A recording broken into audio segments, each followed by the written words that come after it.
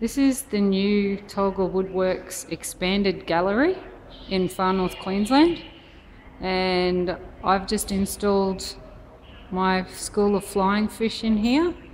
They're made from copper. They are based on the yellow winged flying fish, and they were originally done for strand ephemera in Townsville. They're made from 0.5 mil sheet copper and when they were actually installed, they were in an outdoor exhibition with really high wind conditions, and it was really interesting to watch them because the higher the wind speed got, the more steady they were aerodynamically. So it was really interesting to um, to see them kinetically in that context.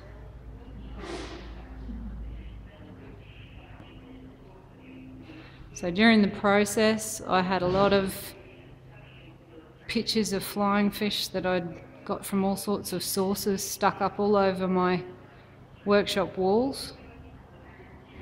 And I remember counting lines and veins and creases and scallops and we actually made templates for a lot of the pieces so that we could get them to work in copper sheet, made paper templates. And that's the flying fish.